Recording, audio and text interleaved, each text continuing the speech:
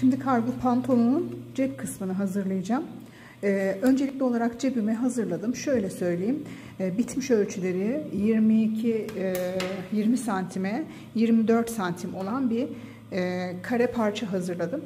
Bu parça şimdi bu parçanın e, tam şu iki çizginin ortasını buluyorum. 10 santimetre şöyle işaretliyorum.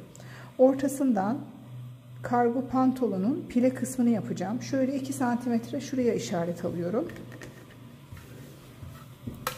2 santimetrede diğer tarafına işaret alıyorum.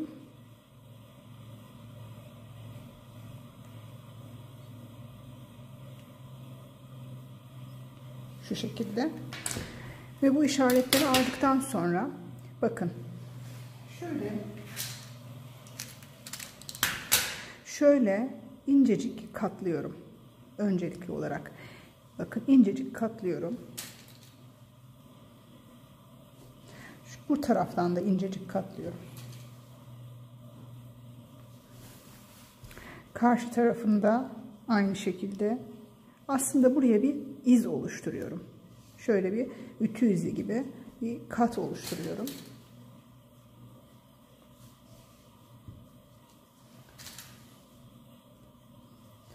Daha sonra bakın oluşturmuş olduğum kattan bu iğneleri çıkartacağım şimdi zaten. Tam da şu oluşturmuş olduğum kattan nevrül dikişi yapacağım. Yani bir milimden bakın tam şuradan bu hizadan bir milimden makineyle dikeceğim. Aynı şekilde de bu tarafı da dikeceğim.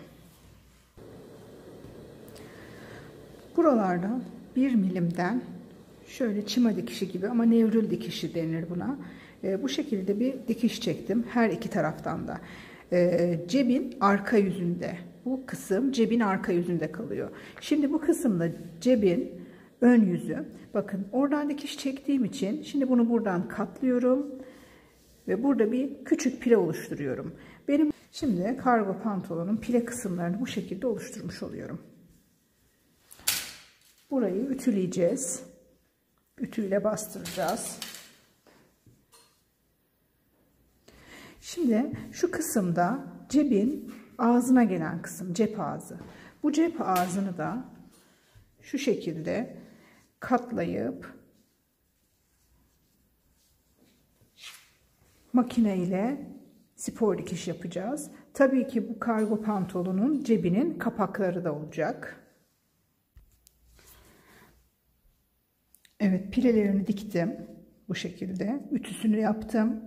Paylarını da böyle yarım santimden içeriye katlayarak ütüledim. Kargo pantolonun cep torbaları hazır. Şimdi kapaklarını hazırlayacağım. Şimdi e, cep torbalarını hazırladık. E, cep ağızlarını yani cep kapaklarını da hazırladım ben. E, diktim ve şimdi bunu çevireceğim. E, şuna dikkat ettim. E, mutlaka şu cep ağzına cep kapakları mutlaka denk gelmeli. Küçük olmamalı. Şimdi bunu çeviriyorum. Çevirirken şu köşelere dikkat ederek şu şekilde çevirme işlemini yapıyorum. Kapaklarına şöyle ilk önce çima dikişi daha sonra gazete dikişi çekeceğim. Yani önce bir milimden dikiş çekeceğim. Daha sonra yarım santimden bir dikiş daha çekip cep kapaklarını da hazırlayacağım. Kargo pantolonun yan dikişlerini diktim ve şöyle ceplerimi hazırladım. Bu şekilde cepleri hazırladım. Ve aynı zamanda cep kapaklarını da hazırladım. Cep kapaklarını da bu şekilde hazırladım. Şimdi yerini belirleyeceğim. Ee, nereye dikeceğimi, nereye yerleştireceğimi belirleyeceğim. Şöyle e, A dikişinin birazcık bir 5 santim altına gelecek şekilde yerleştiriyorum. Ve tam e, dikişin, yan dikişlerin ortasına gelecek şekilde yerleştiriyorum cebi. Bu şekilde. Bunu yerleştirdikten sonra gördüğünüz gibi şu şuralardan spor dikişini yapacağım. Daha sonra bu görmüş olduğunuz kapağı yerleştireceğim. Kapağı da dikerken önce şöyle bu şekilde yerleştirip buradan spor dikişini çekeceğim. Dikişten sonra ters çevirip üzerinden tekrar bir çimo ve gaze dikişlerini çekeceğim.